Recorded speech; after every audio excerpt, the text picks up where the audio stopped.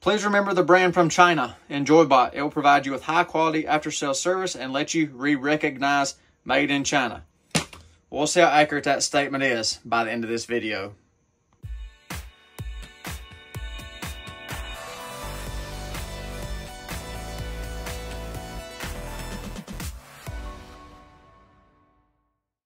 Hey everybody, welcome back to the channel. Got another exciting battery test teardown and review for you today, this time from EnjoyBot. 24 volt battery this time, 50 amp hours. It is a group 24 size format, self-heating function. So this one should be fun. All kinds of cool stuff with this one.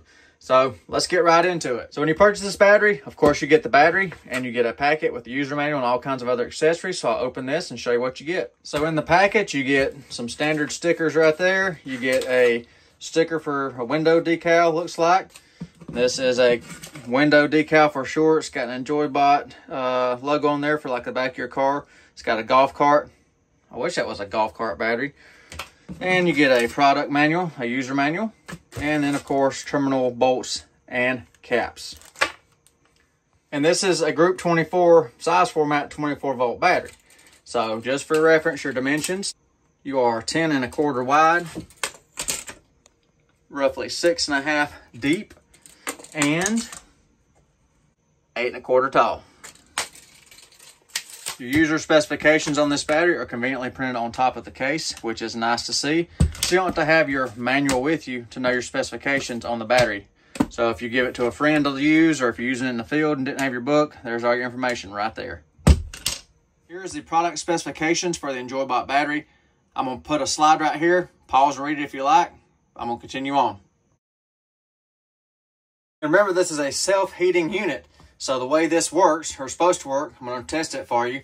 Uh, if the unit sees the temperature of the battery below 32 degrees, it's going to activate the heater. Now it does need 8 amps minimum, so you have to have at least 200 watts or better of solar to activate the self-heating function here if you're using it for solar. A charger that's capable of delivering up to 8 amps just for the heaters. That's not for charging, so it's going to take it from, say if it's at 32, it's going to warm it up to 41 degrees before it shuts the heaters off and initiates charging into the battery.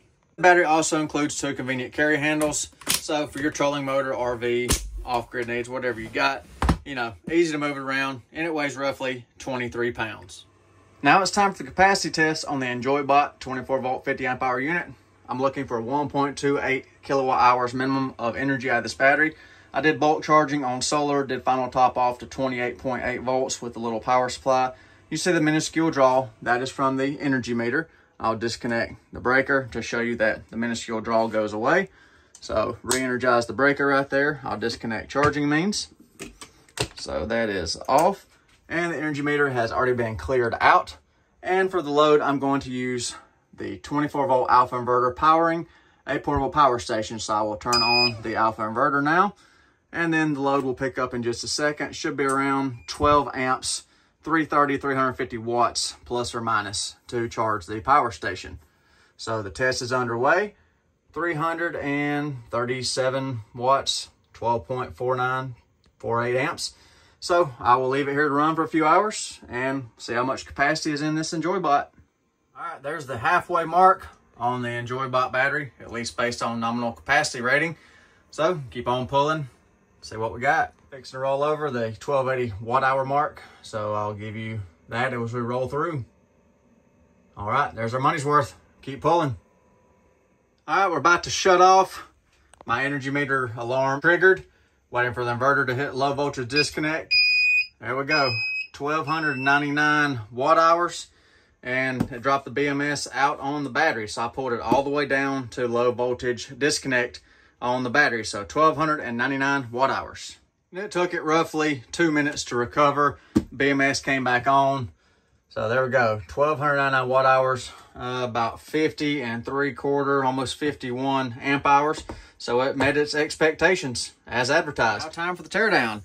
Uh, check it out, see what the heaters look like, the build quality, what kind of cells, BMS, and all that's going on. So, all right, I got the EnjoyBot most of the way cracked open. Same thing I always do. We'll look at it at the same time together as I crack the lid. So let me get the last of that glue off back here in the back. All right, there we go.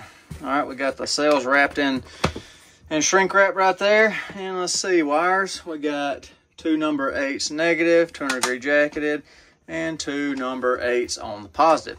200 degree jacket, hydraulic crimp connections right there. We have some protective sheathing on the wires as well. So let me take the top off and I'll break the pack down a little bit further. I didn't know for sure till I popped the lid off. It appears to be a spray paint job on the on the outside for the coloration. So let me, yes, we have spray paint. Spray painted orange on black plastic. But everything is tight right here, just making notes. And there's a cell pack out of the housing, the case. So you can see they use this white uh, adhesive right here that I just wanted to reference. This is how it was sitting, you know, in the battery box right there. And it looks like a JBD BMS. And we have eight cells because it's 24 volts. And then there's the heating pad right there at the base of the cells. So see that right there? There is our cell heater, heating pad. So I'll finish removing this, we'll look at it a little bit better. And then there's another view of the heating grid for the heating pad right there on the bottom. It is a glued down heating grid. To the bottom of cells attached properly. It's tight, there's no gaps. And then let me spin you around right here. There is the control board for the heater right there. So we have a NTC sensor on the heating board right here and also a bimetallic thermal switch that goes up to the top of the cells there. So a redundant layer in case it overheats. Here's a shot of the BMS data right here as a JBD AP21S004, uh, 120 amp BMS, and it's got communication capabilities, even though they're not utilized on this unit. Uh, here's our temperature sensors right here, our NTC sensors. Uh, everything's good, everything's tight, nothing is moving, so that's good.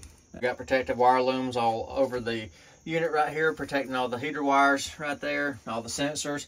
So I'll remove the BMS now, go down a little further into the pack. There are both the sensors, NTC sensors off the BMS right here in the same spot on the cells right there, glued down. Everything's wire loomed, all the balance leads are. Uh, the BMS was glued down. It's got a nice thick heat sink on this BMS. Very thick aluminum on this one, high quality.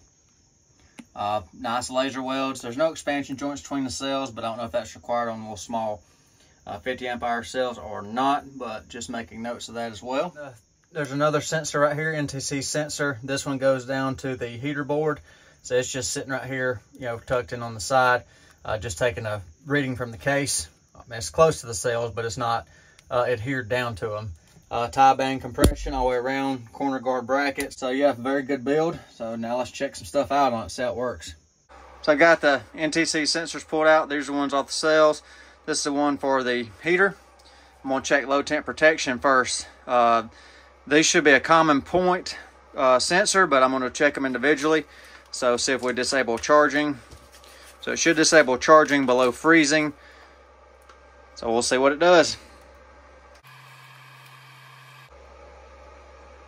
All right, it worked. Took exactly one minute and disabled charging. Good.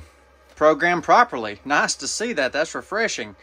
Let me warm it back up. There we go. And I'll just go ahead and check this other one as well right here to see if it triggers. It should, like I said, it should be a common point uh, NTC right there on the board. So this one should trigger on low temp as well.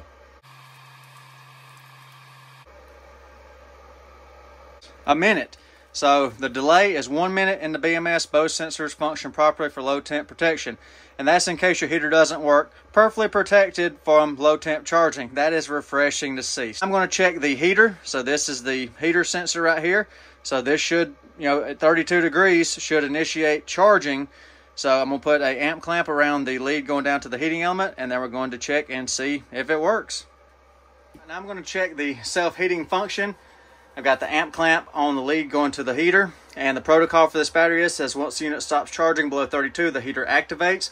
So I'm to take all three of my temperature probes right here and simulate a cold condition on the battery, a below freezing 0C 32F condition. So I'll put three sensors right there. I'm gonna turn the current up on the charger. We'll see what happens.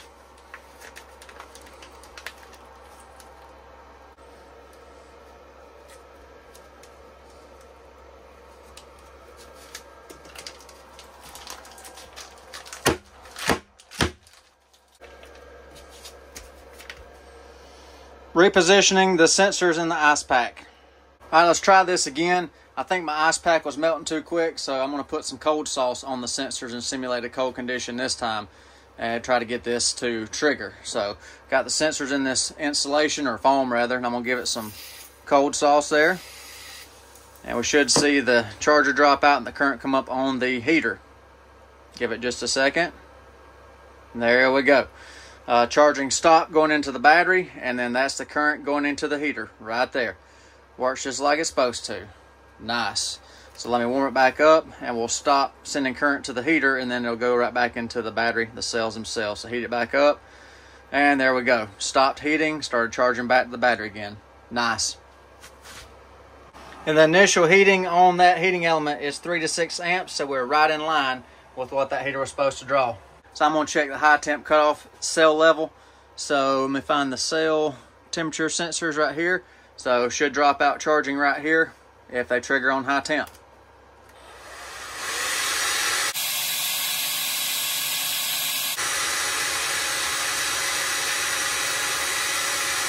There we go. Took about 20 seconds. Not bad at all. Let me uh, cool them back down we should initiate charging again.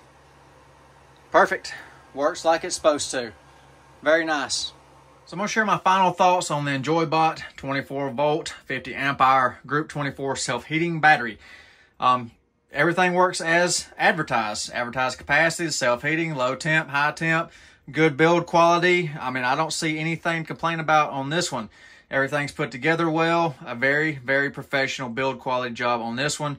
It's refreshing to see one that is properly constructed. Good JBD BMS. I don't see anything to knock this battery on. So yes, I can highly recommend this battery if you're needing a 24 volt battery with self-heating. Uh, and at time of filming, this battery is $299. So if you're interested in looking further in this battery or possibly purchasing one, I will provide a link in the description so you can find this battery easily. I hope y'all enjoyed the video today. Thank y'all for watching. Y'all take care. Be safe. I'll see you next time.